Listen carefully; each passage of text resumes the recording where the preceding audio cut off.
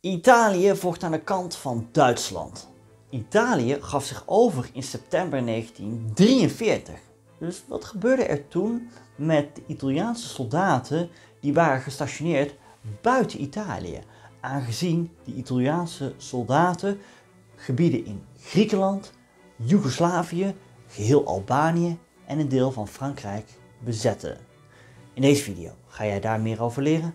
Blijf kijken. Welkom terug op dit kanaal History Hustle Nederlands. Ik ben Stefan, ik ben een geschiedenisleraar en ik maak video's over geschiedenis. Als jij dat interessant vindt, vergeet dan vooral niet te abonneren en druk ook even op dat bel-icoon. Midden mei 1943 verloren Italië en Duitsland de veldtocht in Noord-Afrika. En twee maanden later landden de geallieerden op het Italiaanse eiland Sicilië. En Rome werd gebombardeerd. Het moreel van de Italiaanse bevolking was slecht te noemen. En eind juli 1943 kwamen de Italiaanse fascisten bijeen. En verrassend of niet, Mussolini werd door hen afgezet. Jazeker, zo kwam het fascistische regime in Italië ten einde. Mussolini werd vervolgens gearresteerd en de volgende dag stelde de Italiaanse koning een nieuwe regering samen. Die werd geleid door de Italiaanse generaal Pietro Badoglio. Dit betekende echter niet het einde van de oorlog voor Italië, want Badoglio gaf aan dat hij met Duitsland zou blijven doorvechten. Stiekem onderhandelde hij met de geallieerden over een wapenstilstand. De Duitsers die hadden dit voorzien. En zij hadden in mei 1943 een plan bedacht om Italië en de door Italië bezette gebieden over te nemen op het moment dat Italië zich zou terugtrekken uit de oorlog. En dat gebeurde. Op 3 september tekende de Italiaanse regering in het geheim een wapenstilstand met de geallieerden, wat op 8 september werd aangekondigd via de radio. Nou, in deze video gaan we het dus hebben over wat er gebeurde met de Italiaanse soldaten die op dat moment waren gestationeerd buiten Italië. En dan heb ik het erover soldaten die op dat moment bewapend waren. Want jazeker, de Italianen hadden grote verliezen geleden aan het oostfront, maar de overgebleven Italiaanse troepen werden daar begin 43 vanaf gehaald. En ook eh, de veldtocht in Noord-Afrika, die was verloren midden mei. Dus hoewel zich daar nog Italianen in krijgsgevangenschap bevonden, waren dat niet dus soldaten onder de wapen. En daarover gaan we het in deze video hebben. Die soldaten waren gestationeerd in Griekenland, Albanië, Joegoslavië en Frankrijk. En het lot van deze soldaten is erg verschillend te noemen. Het was namelijk een totale chaos, omdat het centrale Italiaanse militaire gezag was opgehouden te bestaan. Met andere woorden, de Italiaanse troepen in het buitenland stonden er nu alleen voor. Laten we kijken naar Griekenland. Griekenland werd bezet door Duitsland, Italië en Bulgarije. Dat gebeurde vanaf april 1941. Italië was al vanaf oktober 1940 in oorlog met Griekenland. Deze oorlog verliep erg slecht. De Duitsers die kwamen te hulp en wisten Griekenland in een paar weken te veroveren. Vervolgens werd Griekenland dus opgedeeld en het merendeel kwam onder bestuur van de Italianen. Op het vasteland van Griekenland hadden de Italianen zo'n 90.000 soldaten gestationeerd en op de eilanden zo'n 70.000. Het moreel van de Italiaanse soldaten gestationeerd in het buitenland werd ook steeds slechter naarmate de oorlog zich vorderde. Veel Italiaanse soldaten in Griekenland waren vaak dronken en schreeuwden openlijk over straat weg met Mussolini, weg met Hitler en weg met de oorlog. Vaak kwam het ook tot vechtpartijen tussen Italiaanse en Duitse soldaten. In enkele gevallen werd er ook op elkaar geschoten. Toen Mussolini in Rome werd afgezet kwamen de Duitsers in Griekenland direct tot actie. En met hun tanks reden ze naar het Italiaanse hoofdkwartier in Athene. Ze waren dus klaar om in actie te komen op het moment dat Italië zich zou overgeven. De meeste Italiaanse soldaten wachten in spanning af wat de nieuwe Italiaanse regering, geleid door Badoglio, zou doen. Een handjevol fascisten waren behoorlijk ontdaan over het feit dat hun geliefde leider Mussolini was afgezet. Maar de meesten hoopten dat voor hen de oorlog voorbij zou zijn. Toen op 8 september werd aangekondigd dat Italië zich overgaf, vierden Italianen met Grieken feest op de straten van de Griekse steden. Athene op de ochtend van 10 september was als een eindeloos marktfestival toen de Italianen hun uitrusting uitdeden en op straat verkochten. Wapens, motorfietsen, fietsen, dekens en laarzen, meubels uit kantoren en etensblikken, typemachines, zelfs een auto. De Duitsers, geleid door generaal Leur, kwamen in actie en zij ontwapenden de Italiaanse soldaten. De Italiaanse soldaten kregen toen een keuze. Of je vecht door aan de zijde van Duitsland, of je wordt getransporteerd uit Griekenland. Veel Italianen kozen voor optie 2. Ze hoopten dat ze terug naar Italië werden gebracht, maar in plaats daarvan werden ze gedeporteerd naar Duitse gevangenkampen in het noorden. Op sommige eilanden kwam het tot een treffen tussen Italianen en Duitsers toen de Duitsers hen probeerden te ontwapenen. Op Rhodos was een gevecht van twee dagen voordat 7000 Duitse troepen het eiland overnamen en 40.000 Italianen gevangen namen. De Dodecanese eilanden, die waren sinds 1912 onder Italiaans bestuur, vochten de Duitsers twee maanden om het hele gebied te onderwerpen.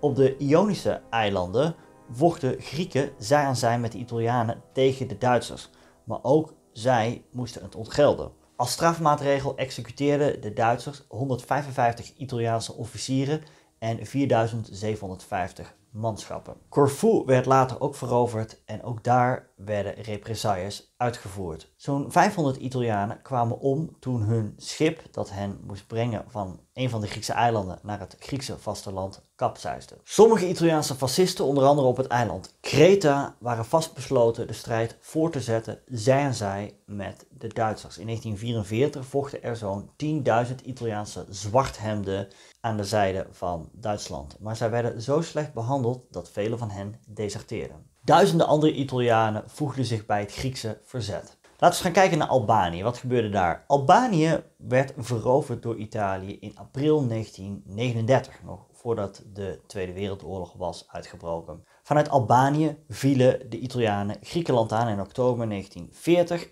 Deze veldtocht verliep erg onsuccesvol, maar door de Duitse aanval in april 1941 behaalden de Italianen desalniettemin een overwinning. Het Italiaanse protectoraat van Albanië, zoals het heette, kreeg delen van hedendaags Montenegro, Servië en Noord-Macedonië erbij. En ook het grootste gedeelte van wat nu Kosovo is, werd toegevoegd aan het zogeheten Groter Albanië. De gemoedsverstand van de Italianen in Albanië werd slechter naarmate de oorlog vorderde. Toen, in september 1943, werd aangekondigd dat Italië zich overgaf, vielen de, de Duitsers Italië binnen om de Italiaanse posities in te nemen. En veel Italiaanse soldaten gaven zich over aan Duitsland. Italiaanse eenheden zaten zonder enige instructies. Badoglio gaf geen duidelijke orders en verklaarde pas half oktober de oorlog aan Duitsland. Italiaanse eenheden stonden er alleen voor. Erger nog, ze waren overgeleverd aan de genade van hun officieren. De geallieerden hoopten dat de Italianen zij en zij zouden vechten met het Albanese verzet tegen de Duitsers. Maar dat gebeurde maar mondjesmaat. Wel was het zo dat de Albanese partizanen een groot deel van de Italiaanse wapens in bezit namen. Duizenden Italianen werden nog wel door de geallieerden geëvacueerd naar Italië. Maar 90.000 werden gevangen genomen door de Duitsers. Zo'n 45.000 ontsnapten en zwierven in de daaropvolgende jaren door Albanië op zoek naar eten en werk. De winter van 43-44 was bijzonder streng. En volgens de Britten stierven er toen zo'n 100 Italiaanse soldaten per dag. Toen de Tweede Wereldoorlog in Europa eindigde, mei 1945, bevonden zich nog zo'n 20.000 Italiaanse soldaten in Albanië. Laten we nu gaan kijken naar het Koninkrijk van Joegoslavië. Dat werd aangevallen in april 1941 door de asmogendheden. En twaalf dagen later gaf de Zuid-Slavische staat zich over. Het Koninkrijk van Joegoslavië werd daarna opgedeeld. Dit is een best wel ingewikkeld verhaal, zeker als je naar deze kaart kijkt. Maar laten we even kijken naar de Italiaanse gebieden. Allereerst annexeerden de Italianen bepaalde delen van Zuid-Slovenië, Ljubljana, een deel van Dalmatië en het zuiden van Montenegro bij Kotor. Ten tweede waren er de gebieden onder Italiaanse administratie, het grote gedeelte van Montenegro. En ten derde onder Italiaanse invloed het zuidelijke gedeelte van de onafhankelijke staat van Kroatië. En dan waren natuurlijk ook nog de gebieden van Joegoslavië die werden toegevoegd aan Italiaans bezet Albanië. De Italiaanse soldaten in Joegoslavië kregen geen bericht over de Italiaanse overgave. Dat hoorden zij simpelweg via de radio. De wapenstilstand werd door Italiaanse troepen ontvangen als het geluid van de fabriekssirene aan het einde van een dagploeg. het was tijd om naar huis te gaan. Deze fabriekssirene, om het zo maar even te noemen, werd ook gehoord door het Joegoslavische verzet.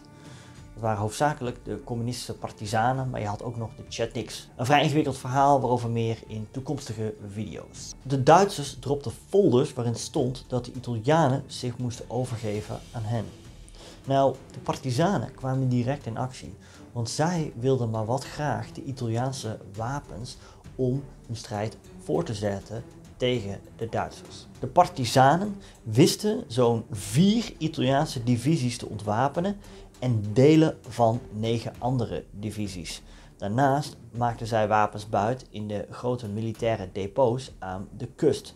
Uiteindelijk kwamen de meeste Italiaanse wapens dus in handen van de partizanen die werden geleid door Jozef Broz Tito, de toekomstige leider van het naoorlogse Joegoslavië. Italiaanse officieren die hun wapens hadden overgedragen aan de partizanen werden door de Duitsers voor de krijgsraad gedaagd en zo'n 100 daarvan werden ter dood veroordeeld en doodgeschoten. Sommige Italianen voegden zich bij de partizanen van Jozef Broz Tito. Veel minder bekend is dat de Italianen ook een deel van Frankrijk hebben bezet.